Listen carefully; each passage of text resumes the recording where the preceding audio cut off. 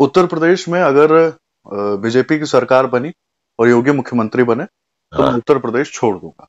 नहीं उसमें ये नहीं है उसमें क्लास ये है कि अगर ओवैसी की वजह से बने हाँ।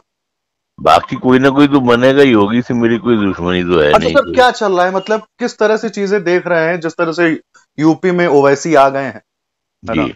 और लगातार उनका भी एक बयान आया कि मुख्यमंत्री की तो मतलब मुख्यमंत्री तो हमारे मजनू हैं। हाँ हाँ। और ये सारी बातें कही। तो सर क्या लग रहा है कि यूपी का चुनाव किस तरह होने वाला है? और ओवैसी की अचानक से एंट्री हुई है। नहीं असल में ओवैसी आए या इससे पहले भी बहुत सी मुसलमान पार्टियाँ आई हम्म। कि हमें मुख्यमंत्री बना हमारा मुख्यमंत्री होना चाहिए हमारा प्रधानमंत्री होना चाहिए। हम्म। आप एक लायक लड़का तो पैदा नहीं कर पा रहे हैं फरमाइशें इतनी लंबी लंबी कर रहे हैं। हम्म।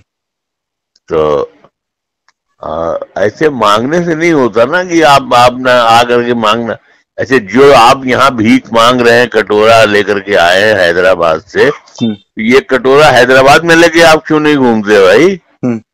कि वहाँ पर तेलंगाना में मुस्लिम मुख्यमंत्री हो हम्म। यही सब अगर जब मालूम है कि उत्तर प्रदेश की फजा खराब है। उत्तर प्रदेश के हालात अच्छे नहीं है। यहाँ बहुत मुश्किलों से ये कोरोना की वजह से हिंदू मुस्लिम एक हुए थोड़ा सा हम्म। आपस में मिल बैठने लगे हम्म। एक दूसरे के दुख दर्द में शरीक हुए तो उससे थोड़ी सी मोहब्बतें बढ़ी तो अब ये फिर से एक आ गए वो वो उन्होंने कहा कि वो मजनू है मैं लैला हूँ भाई लैला है तो मेरे अंगने में तुम्हारा क्या काम है हम्म। लैला है तो वही मजनू ढूंढ लीजिए इतनी दूर आने की क्या ज़रूरत है हम्म। हाँ तो अल- अल- उन, उनको ये बात मालूम होना चाहिए कि लैला और मजनू जो थे वो एक ही इलाके के रहने वाले थे हम्म। ऐसा नहीं था कि एक आंध्रा का रहने वाला हो एक यूपी का रहने वाला हो हम्म। यूपी में बहुत सी लहराएँ पहले पहले से घूम रही हैं सर ये जो चुनाव हो रहा होना है 2022 में तो बात ये तो उस, उस, उसको आ, मतलब अदरवाइज़ लोग ले रहे हैं उसका हम्म। ये मकसद नहीं है कि योगी अगर आए हम्म। अगर हमारी नादानी से योगी आए हम्म। तो इसका मतलब फिर मतलब ये है कि मेरे मेरे लिए कलकत्ता ही ठीक है हम कलकत्ते में रहते थे कलकत्ता अपना वापस चले जाए यहाँ कोई मकसद नहीं है जब हम्म। एक कोई शैतान आए और बहकाए और पूरा सब खराब हो जाए इलेक्शन हम्म। तो इसका फ़ायदा क्या है? अच्छा सर यूपी में जिस तरह से अभी एटीएस वाली कार्रवाई हुई जी। उसको लेकर सर क्या कहेंगे? क्योंकि नहीं नहीं हम तो हम हम तो ओवैसी जी को ढूंढ रहे हैं कि वो आए और जाए वहाँ बालागंज और हम्म। वहाँ काकोरी वहाँ पता करें पूछें हम्म। आप अपने मजनू से पूछे लैला लैला पूछे अपने मजनू से हम्म। कि तो तुम्हारे यहाँ ऐसा ऐसा हो गया क्यों हुआ हम्म। तो इसकी ज़िम्मेदारी की हमारी रह गई बोलने की हम ही दुश्मनी बोलने हम्म। ना हमें कोई लेना ना देना ना हम सियासी आदमी हम्म, ये है कि हम ज़ाहिर सी बात है कि हम गलत बात नहीं देख सकते हैं।